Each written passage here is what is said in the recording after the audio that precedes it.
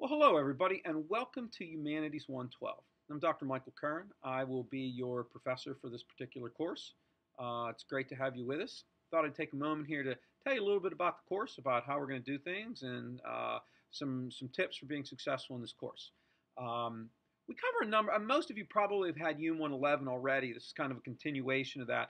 UM 111 starts from the beginning of time, roughly to the Renaissance, a little bit past that, and then we pick up from that point and carry through to the modern day. Uh, the, the focus on the class is, is somewhat multifaceted. We discuss uh, important movements in art, music, literature, uh, history, and all that, and kind of give it a nice context as you have some uh, conceptualization as to how the humanities uh, have evolved from the Renaissance to the modern time. Okay, we do that in a number of ways.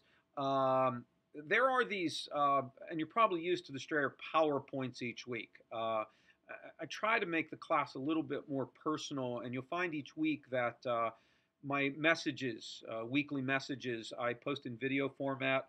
Uh, I also post my own uh, kind of lectures, and usually during the lecture portion that I add, I try to add some historical context so that you have a good understanding of why some of the things that are happening uh, that they're talking about in the PowerPoint slide and uh, in the textbook are happening. Because the book does a great job talking about the art, the music, a little bit more, the less of the literature.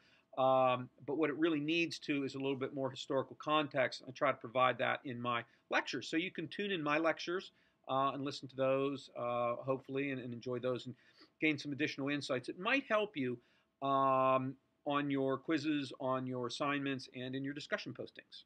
Okay, so that's something unique about this class is there is a lot of instructor-generated video content. Um, I like to to be a part of your class, and I used to feel in the old days where it's just typing, typing, typing uh, that I didn't get to know you real well, and clearly you didn't get to know me very well.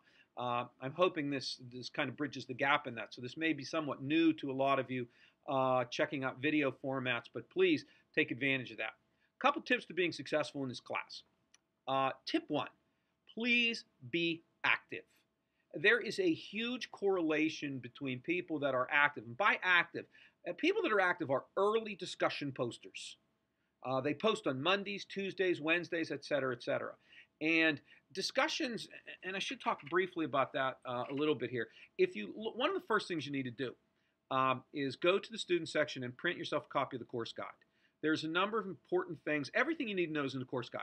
And some of you who like to be proactive, there are uh, three major writing assignments for this class. And uh, some of you probably want to jump on them early. Some of you, you know, may need a little bit more time. There is one assignment that requires you to attend a cultural event, like go to a museum, go to a concert, go to a live theatrical performance. Okay, uh, you probably need time to plan that. That's not really something you can just, oh, I need, or maybe you can. If there's a museum near you, you can just hop uh, over to it. But um, please print out the course guide take a good look through each aspect each week and kind of map out how you're going to budget your time to accomplish everything you need to accomplish in this course. Okay? Having said that, probably one of the most critical pieces of information in the student section is my phone number 412 200 0978. That's my cell phone number. Um, I have a strong preference for phone calls or text messages rather than emails. Usually, if you need something, and usually need comes in a couple of formats. One, the most common need, the most common message I will get is my quiz froze. Those of you who are veterans of Strayer will know that sometimes, particularly on Sundays, Blackboard tends to freeze sometimes. Or at least it did, but we went through this new upgrade. Maybe that won't happen as much. But if your quiz freezes, there's an immediacy. Oh my gosh, I need to get back on my quiz.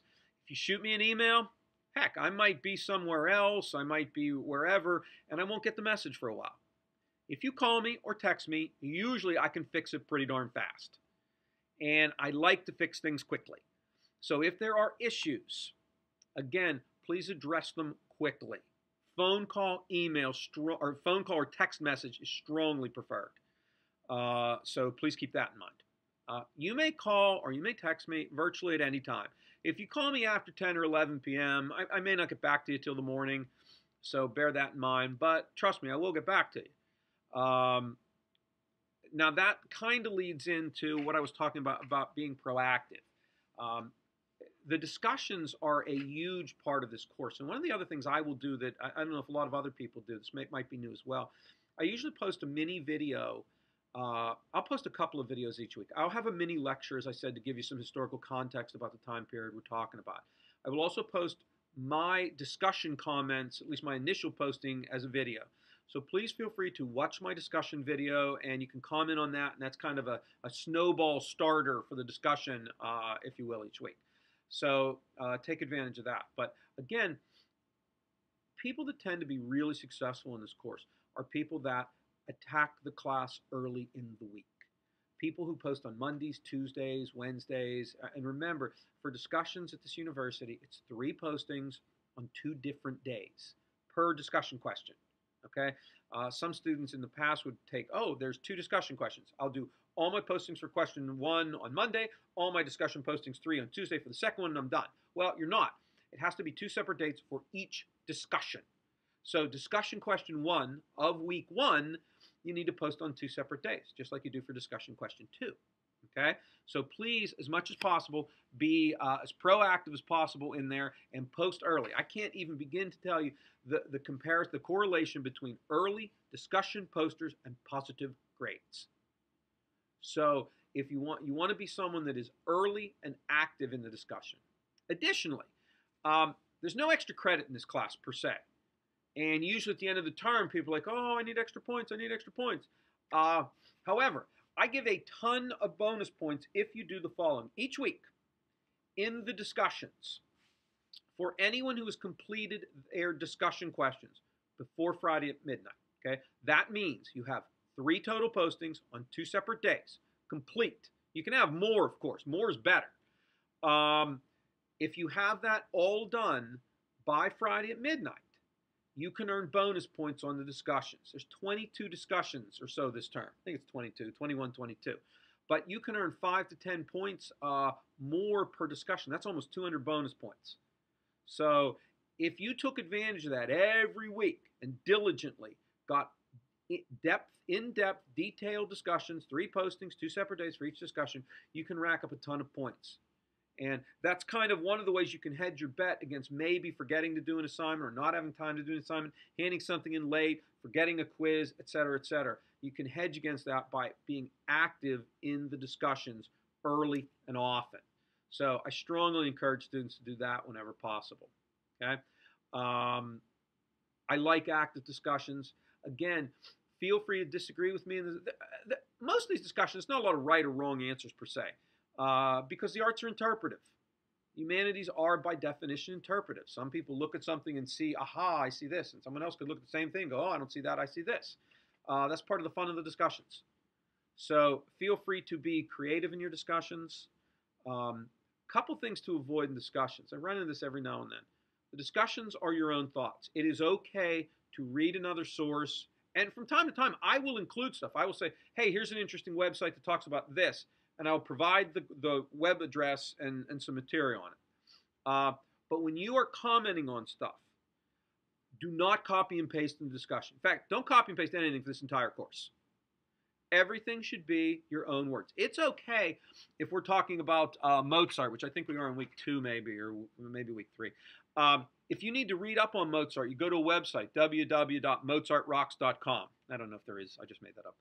Um, and you read about it. It's okay to say, I went to www.mozart.com and learned blank, blank, blank, blank, blank, and then read about it and then say, and therefore I think Mozart was a genius because blah, blah, blah.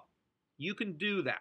If you are gathering information from outside sources, you do need to give the outside sources credit.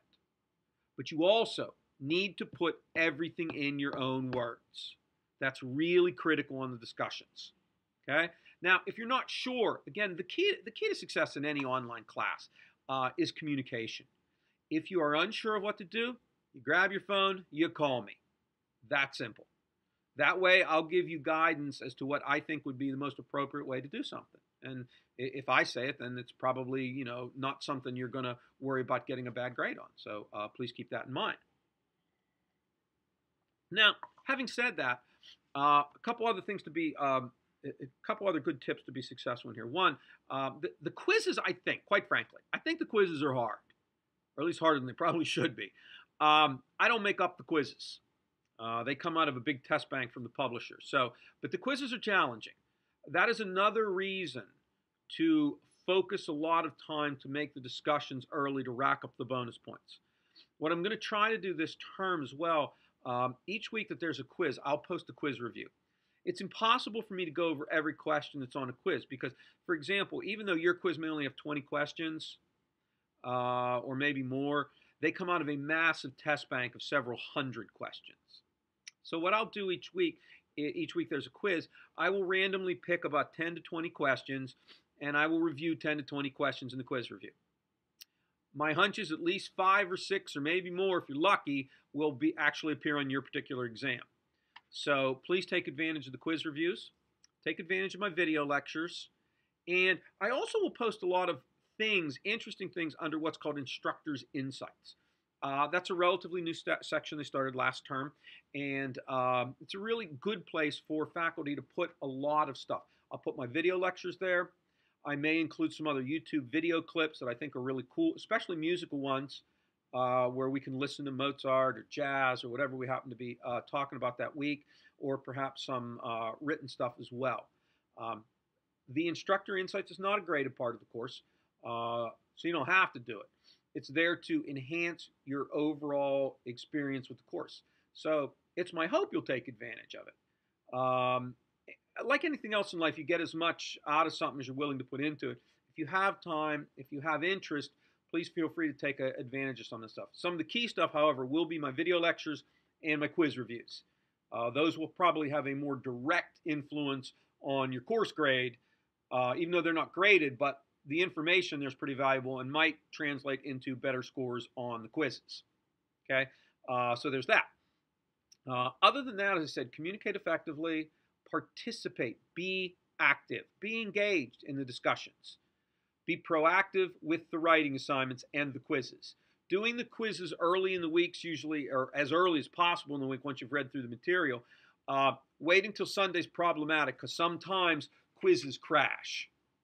And when the quiz crashes, if it crashes like Monday, Tuesday, Wednesday, or Thursday, uh, Friday, even Saturday, even Sunday afternoon, pretty easy for me to reset the quiz and you to jump on it. Sunday night at 10:30 or 11 o'clock, it gets somewhat problematic to reset quizzes in time.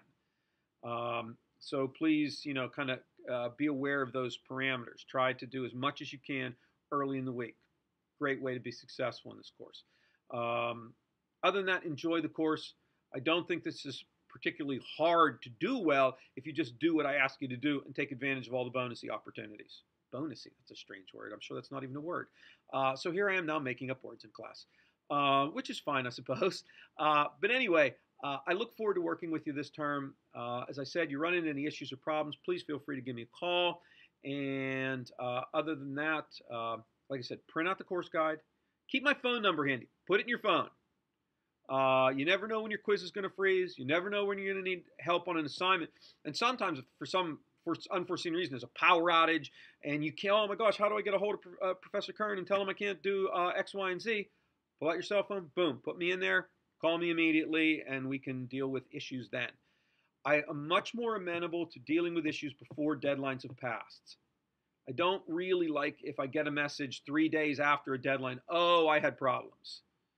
Um, that's not something that is usually a good thing. So being proactive is a smart way to attack that. So again, it's good, helpful piece of advice. Anyway, other than that, as I said, welcome to Humanities 112. I really enjoyed teaching this course. Um, I hope it's a good experience for you. I hope you like uh, the video content. It's kind of something new I started uh, a couple terms ago, and I'm trying to use that as a way to give you a little bit of me in the class as opposed to the, you know, cold voice of the PowerPoint. Aristotle was the father of logic. Next slide. Love that, right? Uh, so, anyway, uh, as I said, hope you enjoyed the class. Looking forward to working with you, and best of luck uh, in UM 112. Thanks again. Bye bye.